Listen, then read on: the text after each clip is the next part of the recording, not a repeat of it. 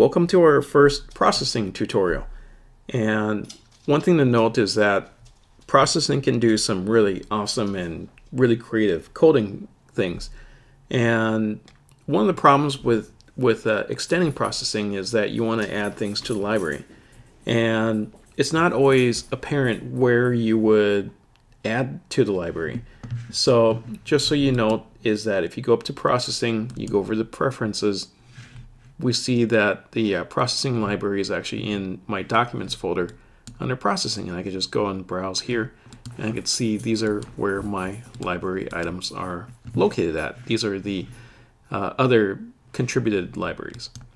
So I'm going to add a sound library to my current set of libraries and so here I'm actually inside my my uh, documents folder and inside my documents folder is my processing folder and these are my library items.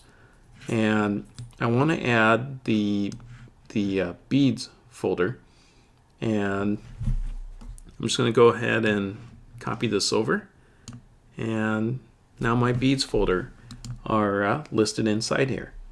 Now to see the beads folder inside processing I'm going to have to close out of processing and I'm just going ahead and relaunch processing.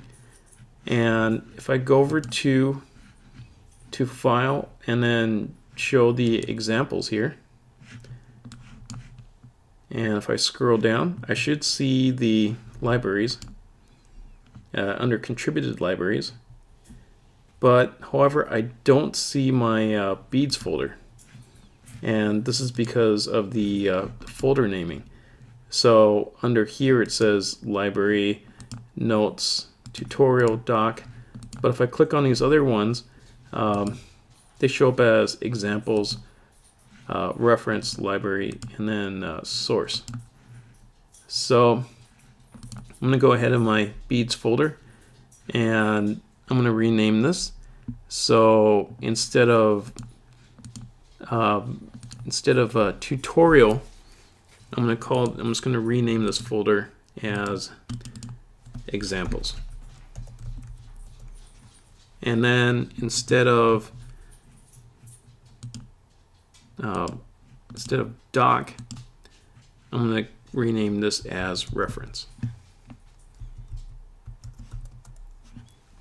And that should be it. So I'm going to go ahead and quit processing. I'm going to go ahead and relaunch processing. And I'm going to go over back to examples. And let's scroll down. And under contributing contributed libraries, I have my beads folder. And check that out. It's uh, the examples are now in here. So really cool. And this is how you would load in a library. And just to check that this works, we go up to Sketch, Import Library, and we see it says beads and it inserts the beads command library in there. And now we know that works. Thanks for watching.